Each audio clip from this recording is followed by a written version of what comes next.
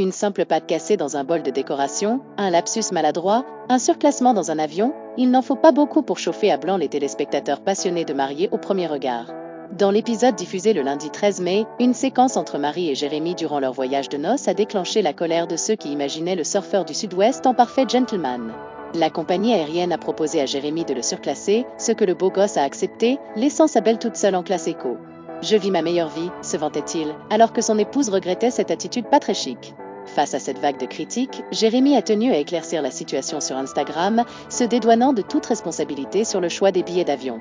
Il a indiqué avoir reçu l'aval de Marie pour profiter des privilèges de la première classe. Preuve en est, la mise de côté a souhaité calmer le jeu en donnant également sa version des faits sur cet avion guette.